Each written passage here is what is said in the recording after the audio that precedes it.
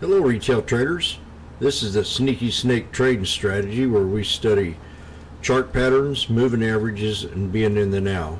Right now I want to bring you um, a, a, battery recycling, a lithium ion battery recycling center.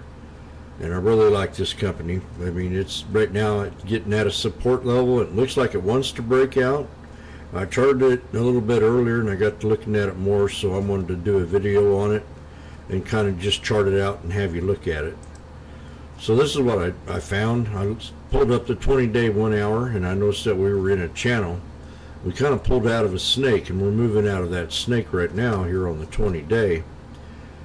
So we, have got a bottom here and we can come up to the top and try to break resistance on the top part of this here um, channel which that, that price range is right around 68 69 cents. So that could be a hard resistance. And if that breaks, it could run up here and have a, a, a nice break past 69 70 cents. Let's go ahead and put this on here.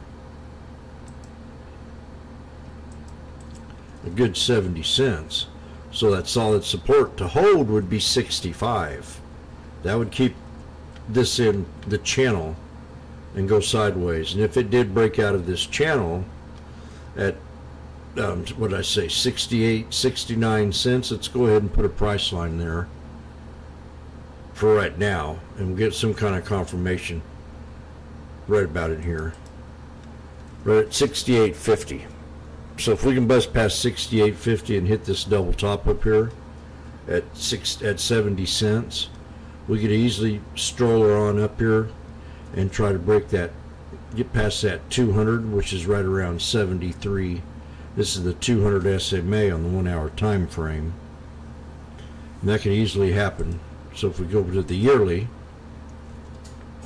the hard resistance would be right around that 75. Somewhere right around in there. And that's the 300, I think. The 200 200 EMA would be that green line. And that would be your hard resistance to take it up to. And if that passed, if that busted past that, then your next resistance would be from this body of this candle right here to that and extend that out to the right. And you're talking about 80, 80 cents for right now. And that, that'll move around on you. That'll move around on you every bit of 80 cents, and that matches up with that. Pretty smart, pretty good spot, 80. So now if this does not hold, if this channel does not hold, we're here at 65, we'll pull up the four hour one, uh, four hour 180 day, and we got this other channels of support right down through here. You can stop this video at any time it's right around 63 cents. And the real serious number to hold would be right around 58, just a little bit above 58. And then we got 54, and then the last strong buy down at the neckline here. I mean, at the shoulder line, no lower than 50 cents to load the boat. So I just wanted to kind of go over that. I had to show up that channel again on that one hour time frame. If 65 holds, what we need would be the 6850 to break. And if that breaks, we can run it all the way up to that 75 cents there on that 200 EMA.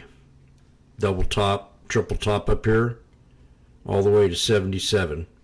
You get that one, two, and three. That's it for ABML. I wish everybody a great trading day. Now, this is a recycling center for lithium ion batteries. And they probably do a lot more. Have a great day. We'll see you Friday.